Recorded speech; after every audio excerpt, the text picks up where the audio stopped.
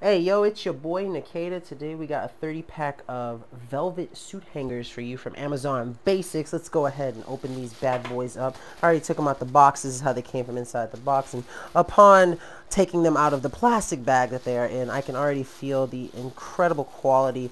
Um, they feel really nice and really smooth, just what you'd expect from these nice velvet hangers. And as you can see, uh, they have the gold tips. They're more towards rose gold, actually, which is um, a nice little uh, feature. I thought they were going to be just straight gold. It might just be the lighting in my room, but as you can see, they, they have a really nice color and aesthetic to these hangers. And I'm going to go ahead and use them and show you what they look like hanging up. So I've got some of my pants here hanging up on the new velvet hangers and as you can see they look absolutely amazing.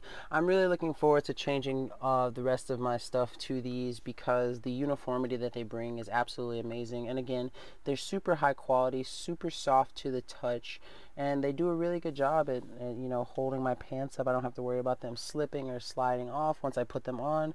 And it just looks really nice. Like I said the uniformity is absolutely amazing with the black and the rose gold uh, finish. So if you're looking for some really nice hangers to bring some uniformity and nice aesthetic to your closet definitely check out these Amazon Basics pack of 30